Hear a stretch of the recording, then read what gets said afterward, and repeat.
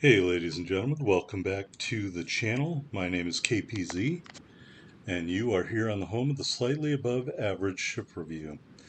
Today I have got a new premium in the port, the Royal Navy Tier 5 premium aircraft carrier, the Ark Royal.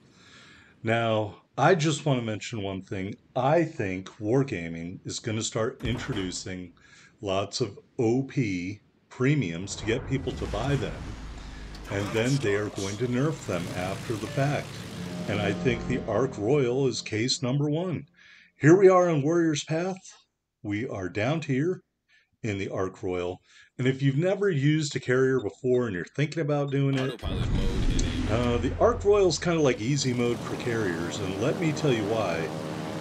It has one little teeny weakness. It has lots of strengths. One of the strengths is these carpet bombers, which uh, have a really big aiming circle that allows you lots of leeway to mess up and still get results when you're dropping on the enemy ships. So my advice to you is if you do get the Ark Royal or any Royal Navy carrier, build into the carpet bomb slash HE bombs because they are uber powerful as you will see. But yeah, I think this is purposely released in an overpowered state, like most premiums will be. Um, here we have to do a dry run. Um, one of the weaknesses of this uh, carrier, the planes don't have a good spotting range. We didn't see that destroyer in time to get that green aiming circle over him. So we had to do a dry run on our first bomb drop. Here we're going back for number two. But anyway, I'm just predicting they're going to nerf this thing Alright, going in for the bomb drop, you can see, try to get the aiming circle where the destroyer is going to be going. Not necessarily very accurate, but we get one bomb hit and one fire, and even though the rest of the bombs didn't hit, we got two incapacitations. I don't know, maybe it set the soda machine on fire or something. Alright, going back in for one more bomb drop here, you can see Destroyer Captain evasive maneuvers not really in the meaty part of that green circle. Two more bomb hits, one more fire, and we force him to activate a smoke screen. So that's why I say this carries easy mode. It's easy to take out or target destroyers with these carpet bombs, or bomb any ship for that matter, and have a positive effect as opposed to other HE bombers of other nations' carriers, which aren't as accurate, don't give you as much leeway. Maybe with the exception of the Tier 3 Soviet carrier, which has a similar drop circle for the HE bombs. Maybe aside from that, there isn't any other carrier that can do this kind of thing. Now, don't get me wrong, I think the Soviet carriers are strong. I just happen to think that the Royal Navy carriers are a little more forgiving because of this carpet bombing for new players. So if you are new to carriers or new to premium carriers, then uh, I suggest the Royal Navy to start off if you haven't gotten any other ones already. Simply because you can do your job really easily, targeting enemy destroyers, at the very least spotting them for your team, and then secondly, spotting and damaging other ships. Preferably the ones that don't have good AA values. Alright, you can see our uh, full sortie of nine airplanes here. Half of them are damaged. We got black smoke, gray smoke, white smoke, every color smoke that there is. So I went over here to look for a destroyer, but I was like, you know what? All my planes are shot up. Nagato doesn't have great AA. Let's go take out the Nagato, or at least target it with an HE bomb.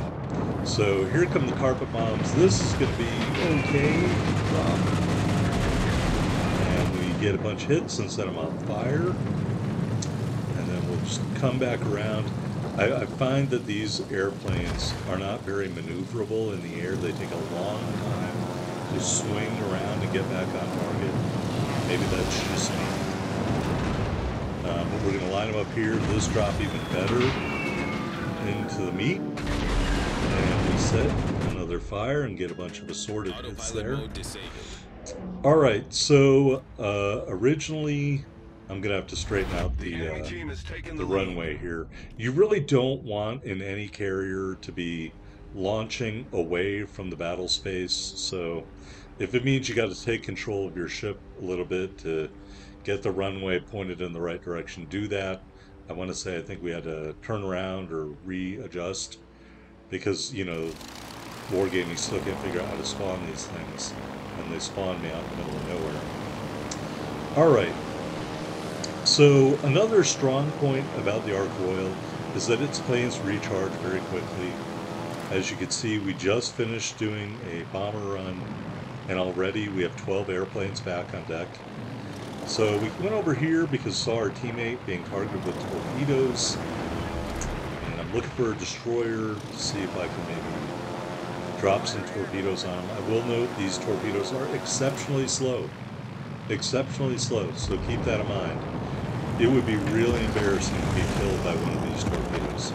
Here's the destroyer. We're just going to throw the torpedoes in the water.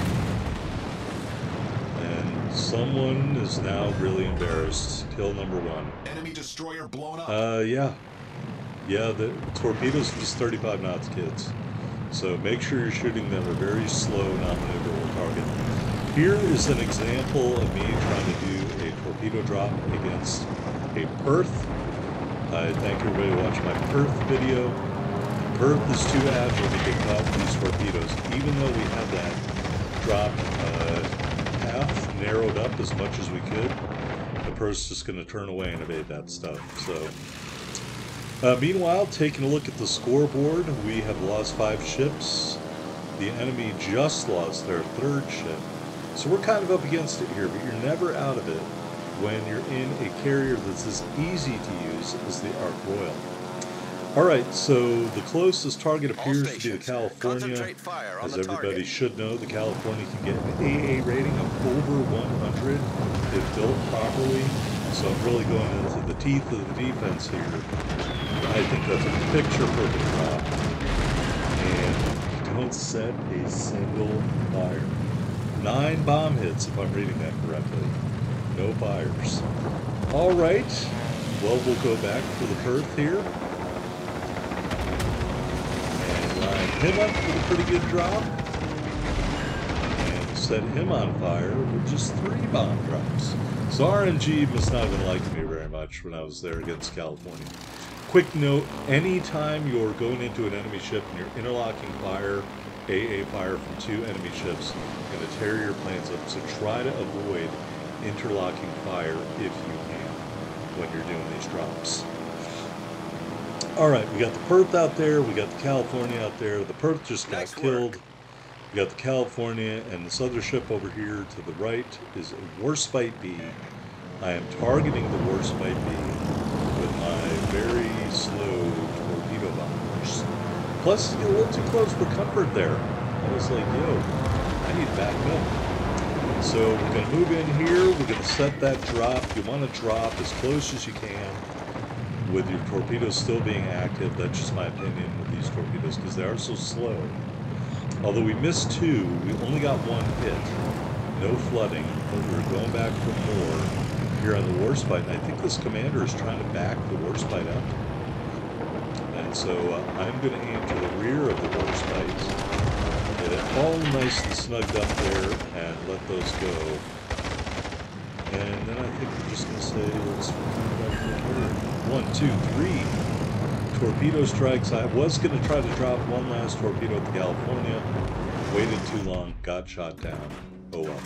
Alright, we're in full backing up mode now, so I can immediately sortie back out with my HE bombers. And this is the first instance of where I didn't have a full flight waiting for me on the deck when a flight took off, Roger. I think, in this battle. So just kind of a side note on how important that recover, recharge rate for your airplanes is. Um, so we got five torpedo planes and one HE bomber on the deck right now. We'll check back in at the end of this sortie. All right, so we're going out looking for a destroyer. Saw some torpedoes coming at my teammate over there uh, blue battleship. I think it might be a Nagato. So I went over here with the purpose of locating the destroyer because I got the carpet bombs. I'm ready to take him out. Even though not very good at spotting, so we're seeing that. Don't know where he is. So I'm just like, you know what? A bird in the hand is worth two in the bush. We are going to go after the bird in the hand here, which is the Warspite. Setting up our carpet bomb drop here. Not too shabby if I say so myself. We set two, count them two fires. I gotta tell you, in every match I've played with the Ark Royal, except for one where the enemy team ran up the middle and got killed by a destroyer right away. Um, I've set two fires in every game except for that one. Here, that bomb drop, we still get a hit out of it. So even though I couldn't get the aiming circle in the right place, we just dropped because we had to, um, can still get hits on target there. So even that one was not a waste. All right, going back with just two airplanes, that's all I got left here. And we are going to do one more drop on the Warspite for good measure. That's a pretty well aimed drop. Set another fire on the Warspite. So that's how you take these ships out. You set them on fire, they damage con. You set them on fire again, they burn them. All right. We did hit the back of the map. We are going to start to move forward. And so this appears to be is this a full sortie still? Alright, we got another full sortie. So we started with five torpedo planes in our last sortie on the deck. And we recovered four more, enough to get a full flight. So we're still getting full flights of planes this deep into the match. That's why that recharge rate is so important. Here we're moving on, on the California again, braving that high value AA. He doesn't have a lot of hit points left. We lined it up with a max uh, closeness of this drop angle. We also spotted the destroyer, the Akatsuki. You know, we take out the California. Yes, sir.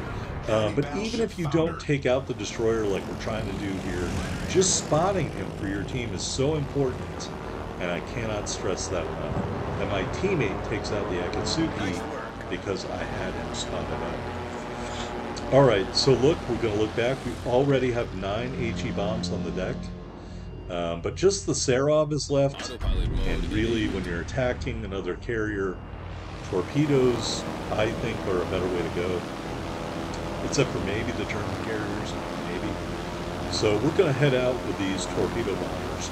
But again, remember I talked about the planes don't have a very good spotting range, in my opinion, for this carriers. So we're going to search around here and try to find the Serov. And uh, not being very successful. I thought he might be behind some of these islands over here. And uh, long story short, he was not. So while we're flying around looking for the Serov, let's recap the strengths of the Ark The carpet bombers are great. A lot of wiggle room on the damage there. Great at taking out destroyers. That should be your number one target when you have the carpet bombers up in the air.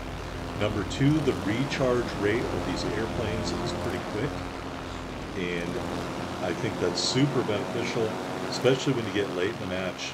Don't want to be sending up abbreviated or short sorties with just half the amount of planes if you can avoid it. Uh, weak sides about the Ark Royal, I don't think the concealment is very good, although it is in one respect because of the commander's base trait. Um, the spotting range of the airplanes is not so great.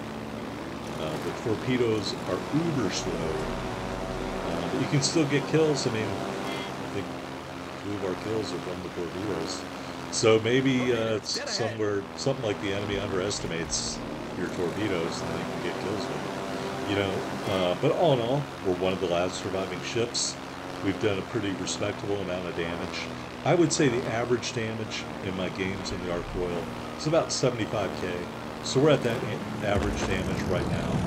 And then we're moving in on this torpedo drop on the Serov. And again, you got to get it all snugged up there. He doesn't appear to be moving. So we're just going to get it as close as we can, drop it, and those planes are toast. So we're going to let those torpedoes go. We are moving forward because we know what's left. We do get three torpedo strikes and start a flood. The auto damage cons that. Um, I don't think we're going to get back over there in time. Also want to note uh, the legendary skill, I think it's called the, the, the Vault or something like that, is up on the screen. And that requires a friendly ship to be in close proximity to you. So thank you to my remaining teammate who moved close to me. Plus, we have interlocking AA fire on any attacking airplane. And I will tell you, I think the AA of the Ark Royal, at least with my build, is pretty respectable. Gotten a couple clear sky medals in different matches that weren't as exciting as this one, so you aren't going to get to see them, but maybe a future game. Uh, I definitely think this is a cracking capable carrier, uh, simply because the effectiveness of the carpet bombs. Uh, so we're not going to get back over there. Time is going to run out. But if you are interested in carriers in 2.5, uh, I think the Ark Royal is the best one going right now. Here we are on the victory screen 89,275 total damage, 9 torpedo strikes, looks like 51 bomb hits, shot down 6 enemy planes, 3 kills, 8 fires, and we ended up with just short of 320,000 silver and 4203 ship XP and commander XP in the Ark Royal. Yep, I'd put it uh, above the Independence and above the Zuiho, and if there's another Tier 5 carrier, I don't know what it is, so I'd put it above that one too. All right, 2155 base XP with those three big kills. We did not finish at the top of our team. But all in all, I think down here that is a respectable effort. Or maybe it's just bolstering my belief that this carrier is easy mode, easy to use. Maybe Ouija is going to nerf it. And then when it does, I will be back to say I predicted they would nerf it, just as I'm predicting they're continue to introduce overpowered premiums to get people to buy them, and then they're going to nerf them after the fact and keep your money. So, caveat emptor, that's Latin. May the buyer beware. Hopefully, I remembered the right words. Uh, anyway, it's been a long time since I spoke Latin. Or let's go into the port, take a look at the ship. Uh, modification number one, flight control mod, increases that aircraft restoration rate or makes it restore quicker. That's what I meant. Uh, mod two, AA guns mod two. I think that is vitally important for any carrier. Consumables got an automatic damage con and four charges of the automatic fighter. We did not run any booster flags. Got this Type 9 permanent camouflage, and of course the Duck of War flag. 44,500 hit points and a 25% torpedo damage reduction with our build. Terms of the aircraft, both sets of planes are Fairey Swordfish. The torpedo bombers, max damage 5,300 with 35 knot speed and a range of 3 kilometers. The dive bombers is where it's at, folks. These ones have a max damage of 3825.